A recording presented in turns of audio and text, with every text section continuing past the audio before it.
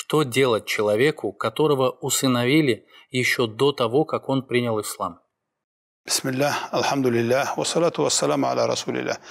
Ну, если тебя усыновили, хоть будучи кафиром, как разница нет, они твои не родители. Ну, сейчас то, что ты вырос, они тебя воспитали.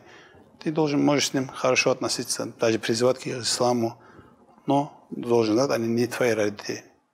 То, что тебя не воспитали, не оставили в доме, и относились хорошо как ребенок, и расходовали за тебя, это можно за это отблагодарить их, к ним тоже хорошо относиться и призывать их к исламу. Аллаху алям. Братья и сестры, современные правила пользования некоторыми интернет-площадками, позволяющими выкладывать свой контент, такими как YouTube, Instagram, Facebook и Twitter, сегодня меняются под эгидой борьбы за свободу слова. К сожалению, как это часто и бывает, это является самой настоящей цензурой, под которую попадают исламские каналы. И наш прежний канал не является исключением.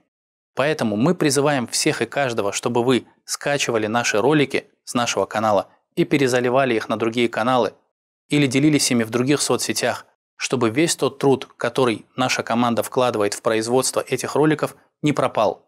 Для вашего удобства мы разбили наш канал на тематические плейлисты или на актуальные видеоролики.